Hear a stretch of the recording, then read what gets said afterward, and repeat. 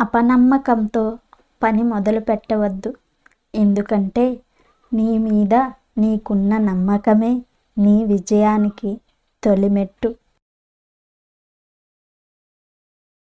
నీ ప్రమేయం లేకుండా నిన్ను ఎవరూ నాశనం చేయలేరు.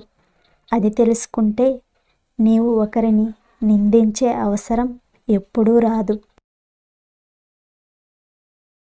నేనొక్కడినే అనుకుంటే మొక్క నాటగలవు కానీ మహా అరణ్యాన్ని సృష్టించలేవు.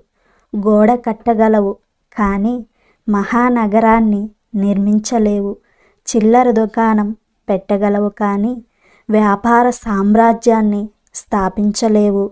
విజయాల వ్యాకరణంలో గెలుపు అన్న మాటకు ఏకవచనం వర్తించదు. నువ్వు మంచి అవకాశాన్ని వదిలివేసినట్లయితే నీ కనులను కన్నీటితో నింపేయకు. ఎందుకంటే అది మీ ముందున్న మరో మంచి అవకాశాన్ని దాచిపెడుతుంది.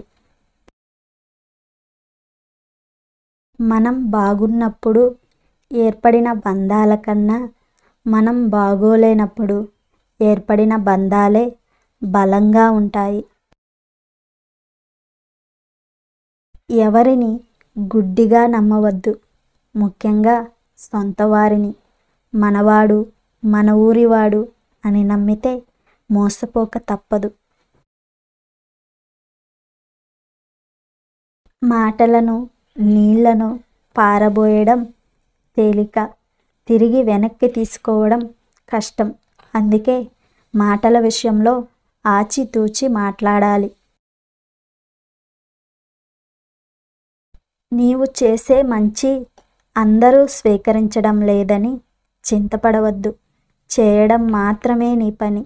అర్హత అవసరం ఉన్నవాళ్ళు స్వీకరిస్తారంతే. కుదిరితే పరిగెత్తు లేకపోతే నడువు. అది చేత కాకపోతే పాకుతూ పో. అంతేకాని ఒకే చోట కదలకుండా ఉండిపోకు.